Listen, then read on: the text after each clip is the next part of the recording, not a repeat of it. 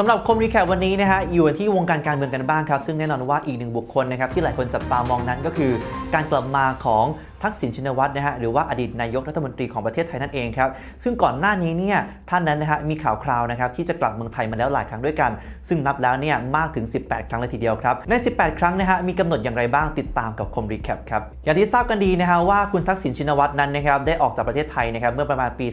2551 นะฮะแล้วก็ได้ไปปักหลักอยู่ที่ประเทศดูไบครับซึ่งแน่นอนว่าในการนั้นเนี่ยท่านเนี่ยก็จะได้เที่ยวไปเที่ยวมาในหลากหลายประเทศครับ รวมถึงประกาศออกมาบอกแล้วว่าจะกลับประเทศไทยเนี่ยมากถึง 18 ครั้งเลยทีเดียวนะครับสำหรับครั้งแรกนะฮะท่านบอกว่าจะกลับบ้านเกิดประเทศไทยนะฮะในวันที่ 30 มีนาคม ปีพศ 2552 นั่นเองครับ โดยท่านเนี่ยกล่าวผ่านระบบวิดีโอลิงก์นะฮะบนเวทีเสื้อแดงว่า ถ้าเมื่อไหร่เสียงปืนแตกทหารยิงประชาชน ผมจะเข้าไปนำพี่น้องเดินเข้ากรุงเทพทันที ถัดมาครับช่วงที่2นะฮะในประมาณปีพศ 2555 ครับในระหว่างงานสังสรรค์นะครับที่ท่านทักษิณนั้นนะฮะได้โฟนอินเข้ามานั่นเองครับซึ่งเป็นงานสังสรรค์ของคนเสื้อแดงภาคอีสานนะฮะจำนวน 20 จังหวัดด้วยกันครับซึ่งจัดขึ้นที่จังหวัดสุรินทร์ฮะซึ่งท่านนั้นระบุว่าถ้าผมกลับมาบ้าน ต้องกลับมาอย่างเท่ๆ แล้วจะบอกว่าจะกลับมาแบบไหนถึงจะเรียกว่าเท่ ถัดมานะครับครั้งที่ 3 นั้นนะฮะท่านก็ประกาศว่าวันที่ 1 มกราคมปีพศ 2564 นั้นนะฮะท่านนั้นให้สัมภาษณ์นะครับกับผ่านทางสื่อครับว่าท่านนั้นอยากกลับประเทศไทยมาเพื่อเลี้ยงหลานครับและก็จะไม่เล่นการเมืองฮะมีแต่ห่วงบ้านเมืองเท่านั้น พร้อมระบุครับว่า จะกลับมาเมืองไทยเมื่อไหร่นั้น มันไม่ใช่ผมเป็นคนกำหนด และต่อมานะฮะครั้งที่ 4 นั้นนะครับในวันที่ 29 มิถุนายนนะฮะปีพศ 2564 นั่นเองครับซึ่งคุณทักษิณนั้นนะฮะได้พูดไว้นะครับในรายการ Care Talk X Care Clubhouse นั่นเองครับซึ่งท่านระบุเลยว่า ผมกลับมาแน่แต่เมื่อไหร่ค่อยบอกและสำหรับครั้งที่ 5 นะฮะ ในวันที่ 13 กรกฎาคม ปี พศ 2564 นะครับ ซึ่งคุณทักษิณนั้นนะฮะ ได้ยืนยันนะครับในรายการ Care Talk X Care Clubhouse ครับ ที่ยืนยันอีกครั้งครับว่า ผมกลับไทยแน่ แต่จะบอกเวลาอีกทีว่ายังไง ไปสวนภูมิออกประตูหน้าไม่ใช่ประตูหลัง ต่อมาครับครั้งที่6นะฮะในวันที่ 6 สิงหาคม ปีพศ 2564 นะครับซึ่งคุณทักษิณนั้นนะฮะก็ประกาศผ่านรายการเดิมครับ Care Talk X Care Clubhouse นะฮะบอกว่าอยากกลับตั้งแต่วันนี้แล้ว แต่ขอดูเวลาให้เหมาะเจาะจะกลับเมื่อไหร่จะบอก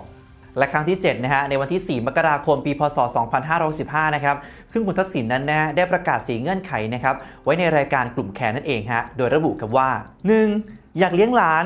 2. ใครเป็นรัฐบาล ถ้าอยากให้ช่วยคิดแก้ปัญหาให้ พร้อมไม่คิดเงิน 3. จะรับจ้างบรรยายแค่จ่ายโอเลี้ยงแก้วหนึ่งก็พอ และก็ 4 ครับ จะชวนบรรดาเศรษฐีดีเมืองไทยนี่แหละครับผม ให้สนับสนุนสตาร์ทอัพนั่นเองฮะต่อมานะฮะครั้งที่ 8 ครับผมเป็นวันที่ 2 มีนาคมนะฮะปีพศ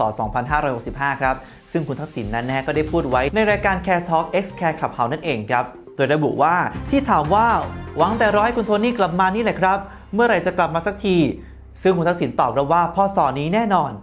และก็ครั้งที่ 9 นะฮะ เกิดขึ้นวันที่ 19 กรกฎาคมครับผมปีพศ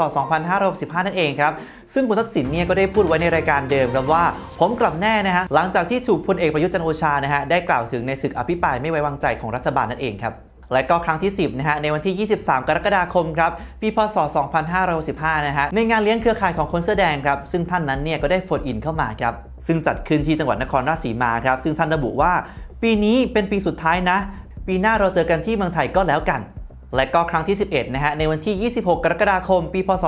2565 นั่นเองครับผม เป็นการปล่อยคลิปสัมภาษณ์จากดูไบนะฮะ ที่บอกว่าให้อภัยศัตรูครับ เหตุผลที่อยากกลับบ้านก็เพราะว่า เห็นคุณหญิงก็คือคุณหญิงพจมาน ดามาพงนั่นเองฮะ ผมสงสารคุณหญิง เพราะคุณหญิงนั้นรับภาระแทนผมมาเยอะ และต่อมานะฮะสำหรับครั้งที่ 12 เนี่ยเกิดขึ้นวันที่ 13 กันยายนนะครับในปีพศ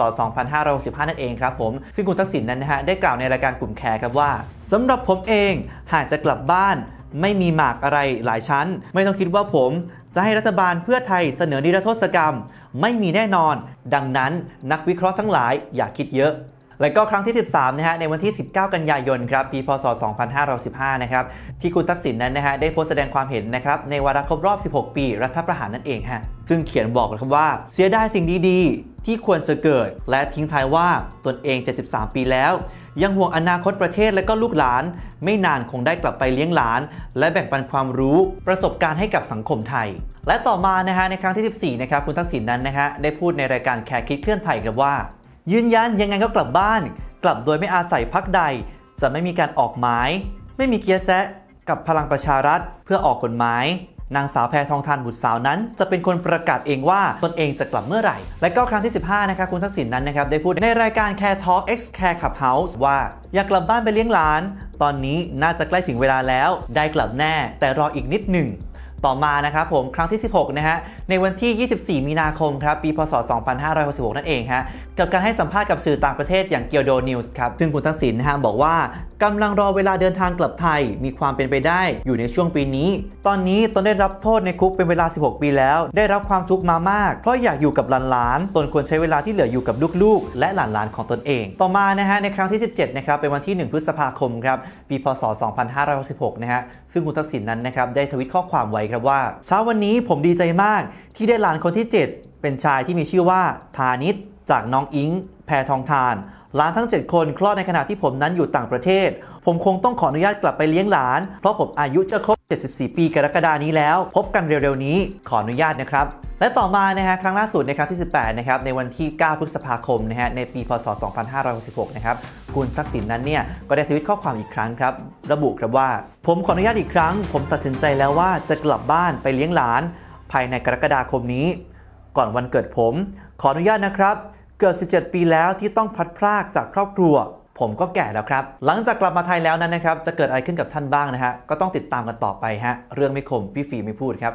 ขอบคุณทุกการรับชมนะครับ แล้วก็อย่าลืมกดไลค์กดแชร์นะฮะเพจ Facebook คมชลึก รวมถึงทุกๆแพลตฟอร์มของทางคมชลึก ไม่ว่าจะเป็น YouTube TikTok Twitter แล้วก็อย่าลืมกด Subscribe ให้ด้วยนะฮะ เป็นกำลังใจกันครับ